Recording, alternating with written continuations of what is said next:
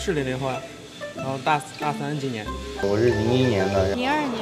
它这个是类似于浮雕嘛，所以说我们先把它勾一道线，跟原料区分一下，然后再去再去上工具，它这个低点，然后压下去，然后它它的高点不动，然后就浮起来了，然后慢慢就会浮起来，一般可能要几个月左右。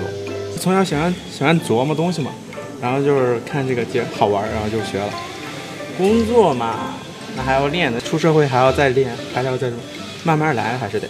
从我们上学的时候，然后一点一点在进步，然后直到做到做到真正的绿松石，方面感觉还是挺骄傲的。未来的话，就是希望就是很多的女孩子能够带上它，这样会有很多的成就感。未来我要觉得我真的要是那种技术好的话，我挺希望我的作品能被卖的挺高的价钱。